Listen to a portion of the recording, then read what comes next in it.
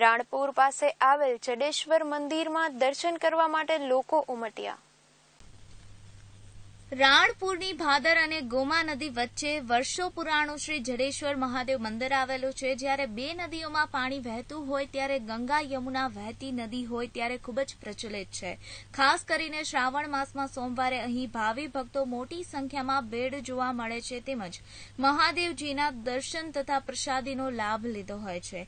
અને સાથોસાથ લઘુરુદ્ર પૂજાનું આયોજન થાય છે. અહીંના પૂજારી અનિલભાઈ અને પરેશભાઈએ મંદિરનો ઇતિહાસ અને શિવને બલિપત્ર શા માટે ચડાવવામાં આવે છે તે જડેશ્વર મહાદેવનું ખૂબ જ મહત્વ છે. ખાસ કરી અને ગંગા અને યમુના જ્યાં મિલન થાય છે, એવી જે તમારા ગામની આ નદી છે, ભાદર અને ગોમા, એની મધ્યે આ સ્થળ આવેલું છે, જેને જડેશ્વર મહાદેવ અને બહુ જ પુરાણું મંદિર છે.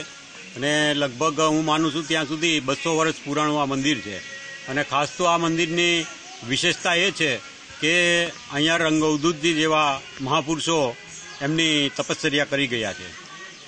બિલીપત્ર મહાદેવને શા માટે ચડાવવામાં આવે? છે બિલીપત્ર મહાદેવને ચડાવવાનું કારણ એક જ છે કે બિલીમાં બ્રહ્મા વિષ્ણુ અને મહેશ એ ત્રણેયનો વાસ રહેલો છે.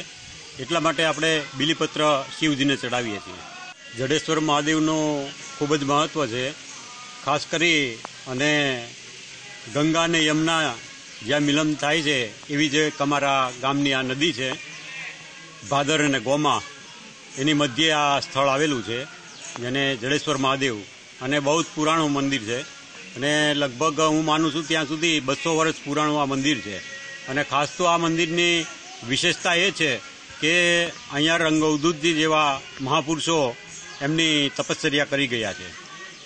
બિલીપત્ર મહાદેવને શા માટે ચડાવવામાં આવે છે? બિલીપત્ર મહાદેવને ચડાવવાનું કારણ એક જ છે કે બિલીમાં બ્રહ્મા, વિષ્ણુ અને મહેશ એ ત્રણેયનો વાસ રહેલો છે.